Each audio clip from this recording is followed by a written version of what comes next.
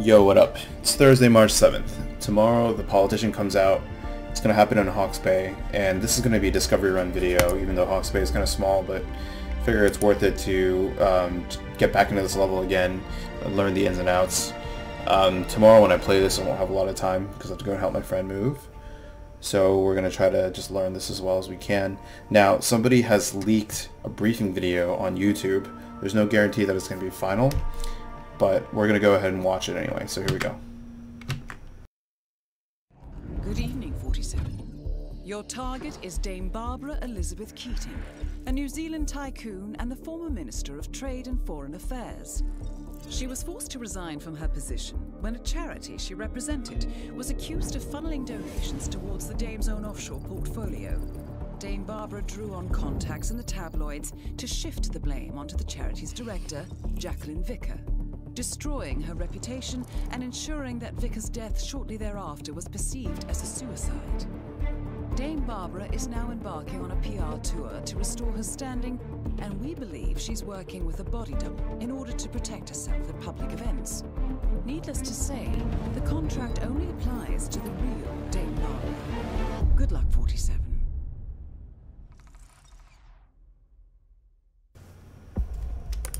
Okay, so let's get back into the game. Alright, um, as you can see even from the picture alone, she's going to have some kind of body double. So we're going to try to find a way to distinguish distinguish between them if we can. Um, although, I guess just looking at this picture, I can't really see any differences. I'm sure they will mention something when the time comes. Um, aside from that, yeah, I mean, we can go and find the location where she was standing in the video, but there's no guarantee, uh, as we know just from history now, the past couple elusive targets, there's no guarantee that they will be where they're depicted in the video. Uh, but nonetheless, we'll take a note of it. So here we are in Hawke's Bay Night Call. Um, I've already unlocked all of these, so just to save time, we will go ahead and start in the office. Um, let's have, I have a feeling the lockpick will be useful. Uh, coin, silver baller. Okay, and then these are our two options in terms of smuggle points. Um, this is the one that's obviously closer to the main house. So we'll go ahead and pick that. Um, I have no idea how this level is going to look when the time comes for the actual elusive target because this is, in a sense, the most um, unique uh, level, I would say, in that it's so scripted, which makes it stand out from the rest of the levels. Um, those of you who, who have played this already, you'll know that the level basically has no NPCs in it up until a certain point once you activate the computer, then the NPCs appear and then it becomes like a regular level. So all of those rules will go out the window when the elusive target comes. Um, we're not going to know where we're going to be able to start the level. We're not going to know where we're going to exit the level. So um, all of that's like a big question mark. So let's see.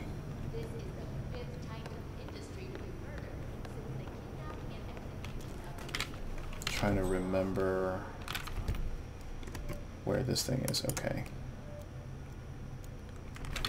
Alright, so I'm just going to go ahead and uh, just get to the pickup.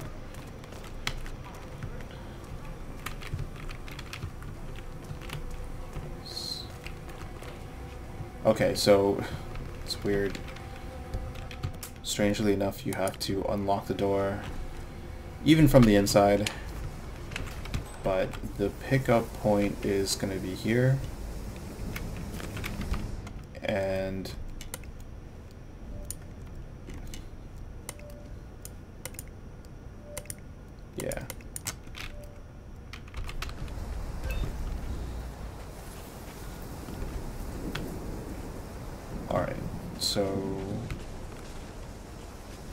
rest of the level is in the other direction, that way. Right, because, okay, so the regular start point is going to be to the east. So the pickup point is going to be on the western edge of the house. It's a camera there. I guess we Good might as well... Now, according to the local home security provider, the house is equipped with multiple cameras placed yeah. around the perimeter. I suggest you get rid of them, 47. We're gonna just take note of all the camera positions. Second one there. Third one here.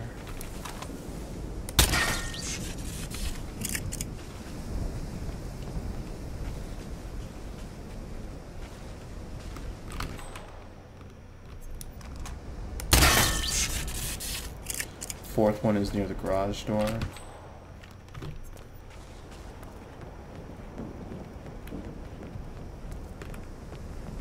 Okay. Um, these doors are going to be locked from the outside. We know that for sure. So it's locked no matter which way you're trying to approach it. Um, right.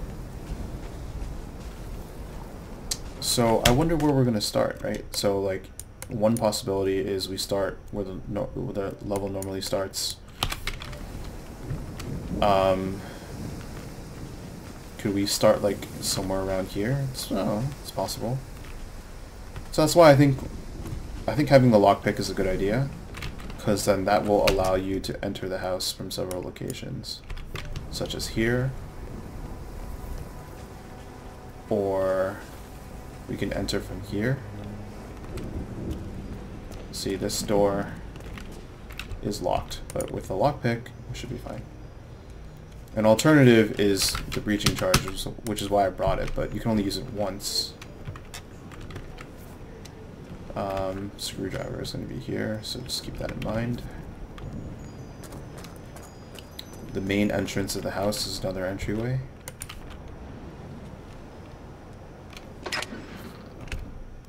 Right, so that's over here.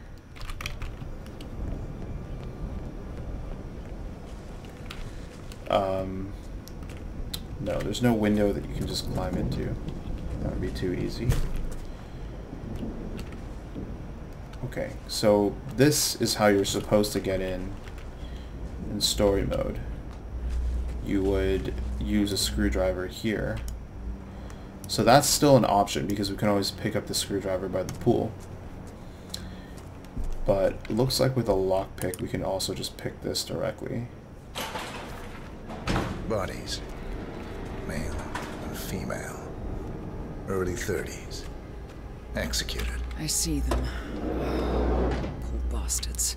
Looks like Reynard's grisly handiwork, all right. She was never shy about collateral damage. The owners? Don't think so. The house is registered to a non-existing environmental NGO. This feels more like identity theft. Hmm. Like you, Reynard is known to use disguises. Hmm. Keep looking, 47. Nothing we can do for these people now. Probably the most notable thing in this room is this chloroform flask, which is found inside the, the vehicle here. Aside from that, um, this garage, this is kind of like the boiler room type of thing. We've got one box here. Okay, nice. There's a propane flask. You can also open up this thing. Yeah, we're definitely gonna take the lockpick. There's too much stuff that you can take with it. Um, knife. The gun is highlighted, but I can't pick it up. Right? This is... Right, we were here earlier. This is the pickup. Um, then there's rat poison here. There are some, yeah, some cans. Cans are great. You can chuck them at people.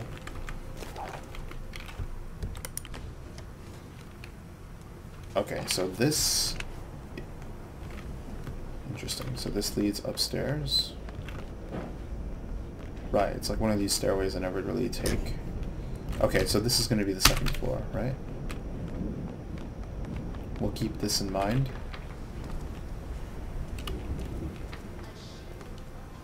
Yeah, then the main area connects to the pool. Main entrance. So I think that one thing that will be helpful is to close the curtains. Because uh, there's going to be patrolling guards outside. Um, was attempting to convert close to 50 million US dollars into bitcoins. The spoils of the Yardbird Spectre, the final casino heist. And now, nations are lining up to cross is there a way to turn this off?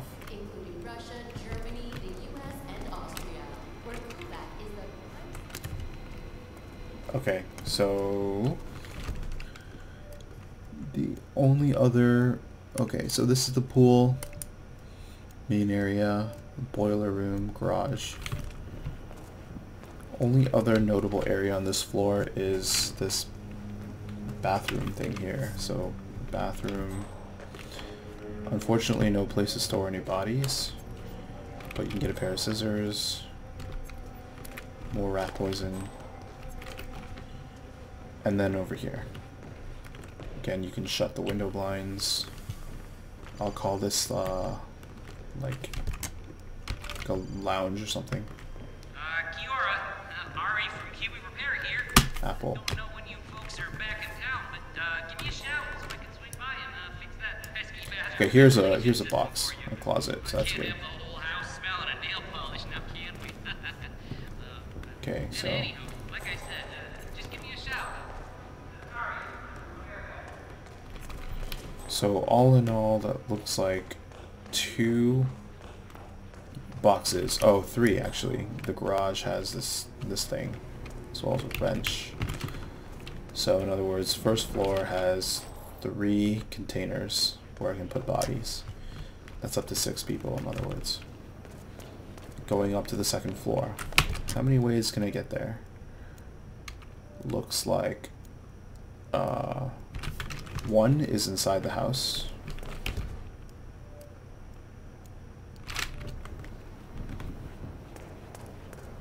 Right. Two is this thing that we found earlier.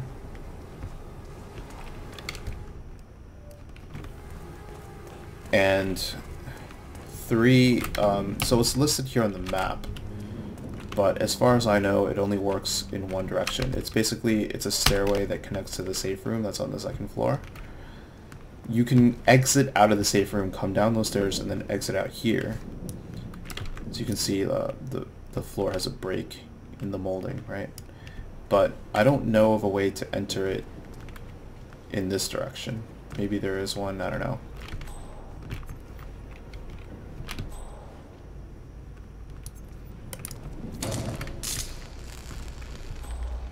Yeah, I don't know. So, yeah, there's only really two ways to go up. Three ways to come down. Um, additionally, you can just jump down, I believe. So, for example, okay, it's more window blinds here. But, um, yeah, so say you're on the second floor. This is the second floor, right? Over here, I think you can just drop down.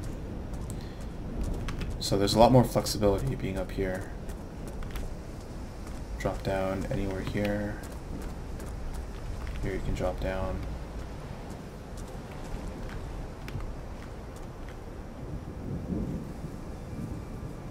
Okay. Will it will it be like jumping down or can I hang? Let's see. It'll be jumping down. I cannot hang. Okay. Um, just going back upstairs.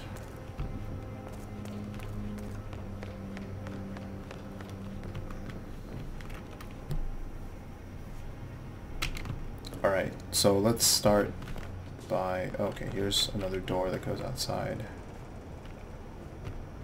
It's good to know. So, two doors so far that go outside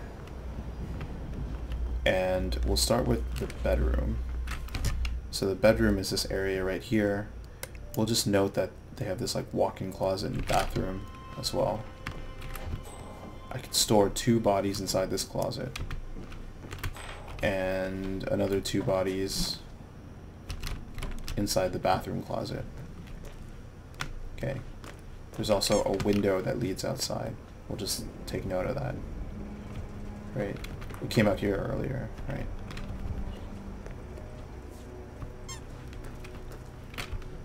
Another bathroom cabinet type of thing.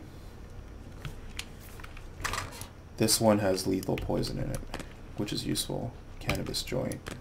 Interesting. Um, don't remember if mirrors crack when you shoot them.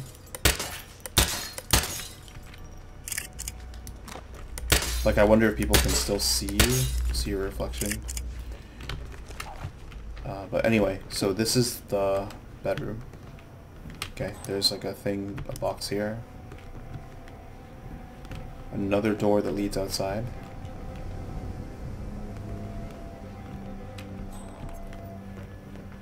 Close these blinds too. Awesome. And then this door. Okay, so we kind of understand this whole area now. Right, these are the two doors that go outside. Then closet, bathroom. There are windows uh, here and here that also go outside. I think there might be some windows down here as well. Well, let's open the blinds and find out.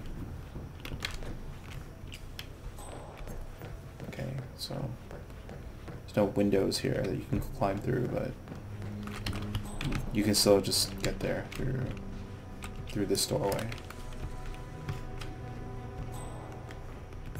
Okay. So the other feature of upstairs is going to be the panic room. Um, but first, let's check out this outdoor area here. So here's where I said we could jump down earlier, right? This goes upstairs. We'll check that out later. Come around this way. There's a door here. Right. Another box in this hallway. So I believe that's four boxes on this floor. Um, so here we are. It's like a little gym here. Panic room is going to be inside here. Just interact with this to open it. This is going to be where the camera box is. Nicely done, 47. Getting caught on tape is the last thing we need. Okay, so there is a lockpick in this level. Here we go. For the office computer, no doubt. So I'm not going to know ahead of time whether it's still going to be here in this level or not. If I knew that it was going to be here, maybe I wouldn't bring the lockpick. Or I, I still would if I wanted to use it to get inside. Who knows? Um, you know, some interesting things we can use to kill our target.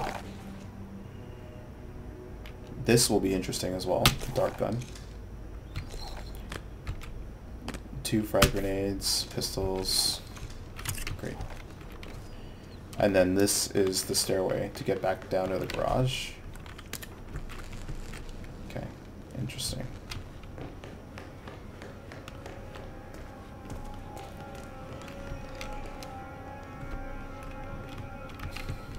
Bust. Alright.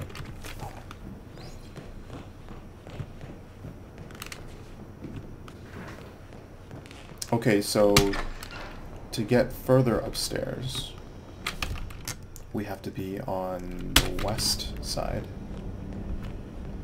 And we can take this set of stairs. But before we do that, I want to just test something with these railings.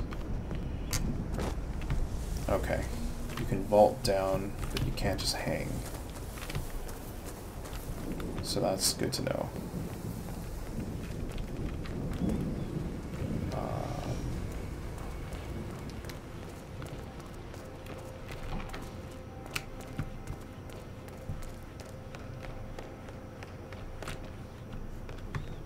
Alright, so from here to go upstairs, we have to go out this way and up these stairs. This is the only set of stairs that will get you up to the roof. From the roof, uh, you can jump down to that level pretty much anywhere here. Yeah, anywhere here you can jump down. Obviously here you can't because that would be too high. But uh, there's plenty of stuff you can hide behind. Um, what else? The two things you can interact with, um, ventilation for the panic room, so you can poison it. Right, because that's directly above the panic room. Yeah, that's the door to the panic room. As well as the bathroom, I believe. Right, here. Because we are right on top of the bathroom. Okay, so obviously we can also see it through the window, which means we can take shots. We can take shots through to the computer room as well.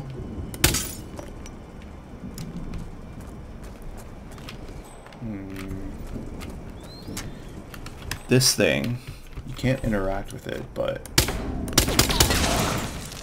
after a couple shots, you can break it and drop down. Oh, a little bit of lag there. Okay, cool. So good to know. Can drop down through here. Uh, okay, so I think that's all we really need to know about in terms of inside the house.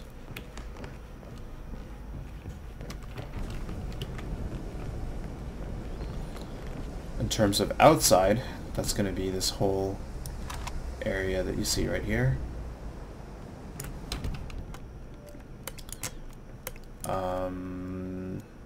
Not much to really memorizing this layout.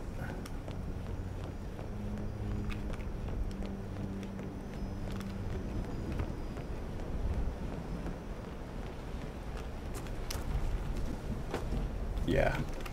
You can just basically hide in any of these, like, bushy areas, as long as you're crouching.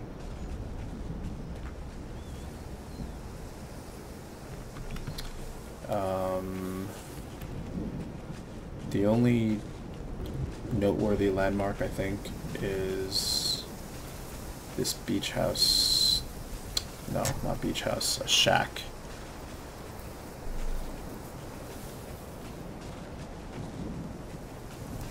This is a potential place where you can hide an item, a pickup point.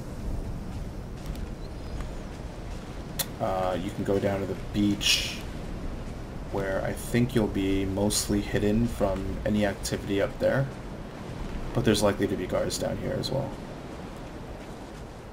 Uh, should be quite a bit of like driftwood lying around somewhere if you need like an item to pick up and chuck at people.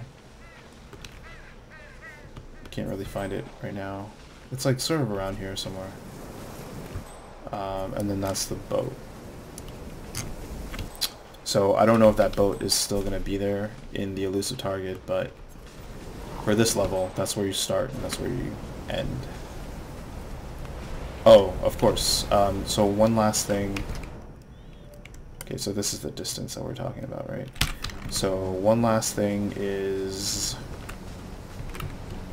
You don't see it right now, but after the guards come, when I trigger that computer, there's going to be uh, like a truck or something. I'm not sure where exactly it is. We can find out in a second, but it's supposed to be like around here somewhere. And they have um, some explosive flares in the back. When you shoot them, they'll shoot the flares into the sky and cause a distraction, which will attract the attention of guards, uh, even on the beach. Now that's probably going to be, I don't know how scripted that is, right? So I don't know if that will still work, if that will still be applicable in the elusive target. But it's just something to know about in case I, I need to use it in a pinch. So let's go ahead and just trigger that computer.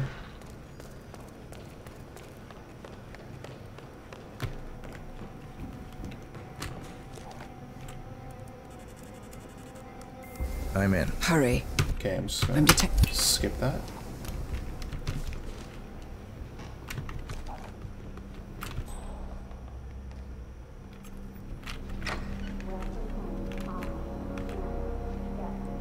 It's Orson. Or Okay, I'm just gonna quickly jump down as soon as I can.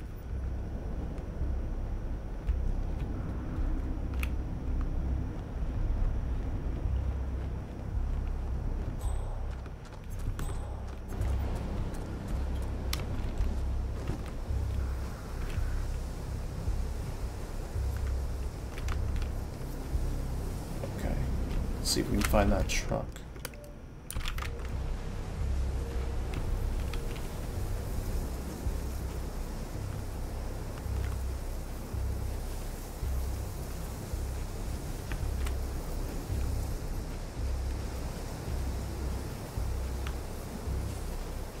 Okay, yeah. I'm not gonna know anything about what guards will be here or their patrol routes. Um, I think you can kind of see in the video, as well as a picture I saw somewhere, that it's gonna be more like cicada guards.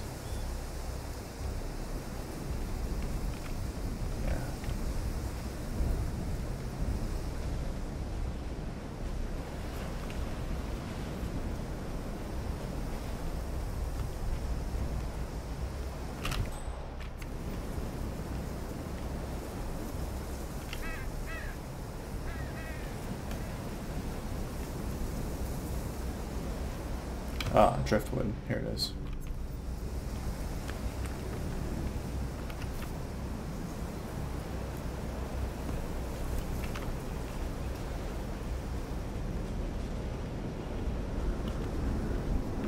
Okay, so the explosives are right there.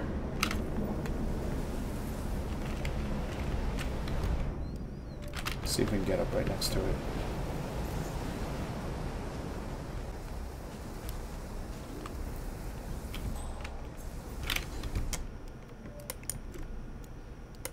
Okay, so it's like kind of just to the right of the boathouse. And when we shoot it,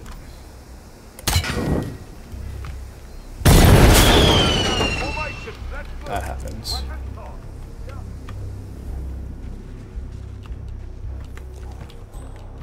Which causes the guys on the beach to run toward the vehicle. But not those guys.